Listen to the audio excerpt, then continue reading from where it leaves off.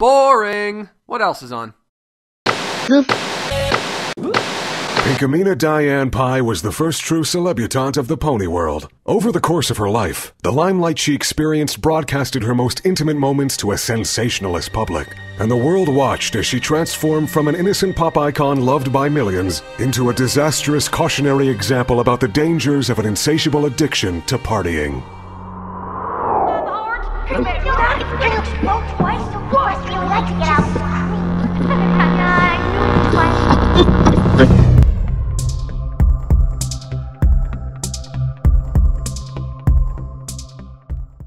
Pinkie Pie's downward spiral began in 2009, on her 21st birthday. With newfound freedom and her inhibitions entirely abandoned, she was left to explore a frightening night.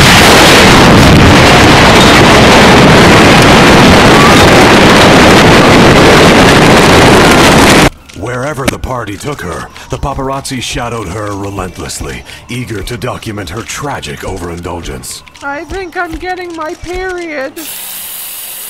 In 2011, the scandal reached its peak when explicit footage leaked onto the internet featuring Pinkie performing sex acts on a currently unidentified partner. Yeah, that feel good, baby? Yup.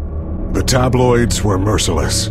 Oh, she'd f anyone. Chicks, dudes, didn't matter. Fat guys, skinny guys, guys who climb on rocks, dogs, cats, squirrels, bugs, snails. She f***ed a snail. I watched her f*** a snail once. That sounds weird, right? Just hearing me say it? Imagine how weird it was to see it. She f***ed a snail! I thought it might motivate Pinkie to get straightened out if we got a bunch of her friends together and sat her down.